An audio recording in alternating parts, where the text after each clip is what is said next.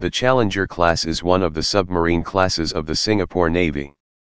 They are extensively modernized versions of ex-Sjöormen class submarines. Challenger and Centurion were retired in 2015.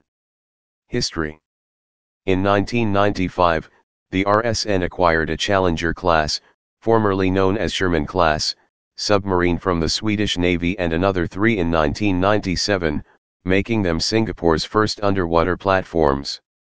It is believed that the Challenger class were purchased to develop the required submarine operations expertise before selecting a modern class of submarines to replace them, since all the boats are over 50 years old.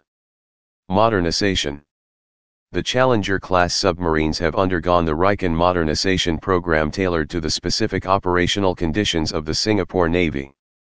As the submarines were designed by the Swedish for operations in the Baltic Sea, various modifications were required to suit them to tropical waters.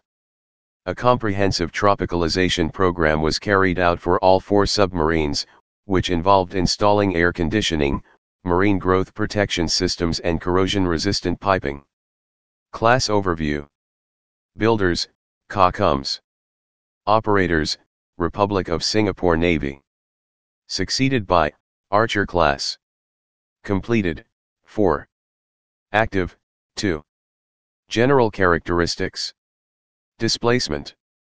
Surfaced, 1125 t, 1107 long tons, 1240 short tons. Submerged, 1400 t, 1400 long tons, 1500 short tons.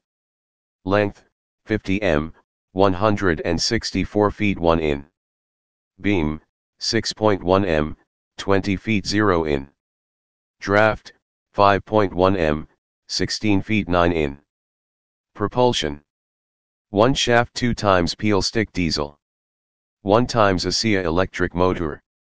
Speed.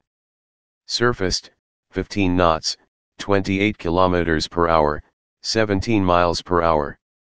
Submerged, 20 knots, 37 kilometers per hour, 23 miles per hour. Complement, 23. Sensors and Processing Systems, FOS. Armament. 4 times 533 mm, 21 in, torpedo tubes. 2 times 400 mm, 16 in, torpedo tubes. Please subscribe and thanks for watching.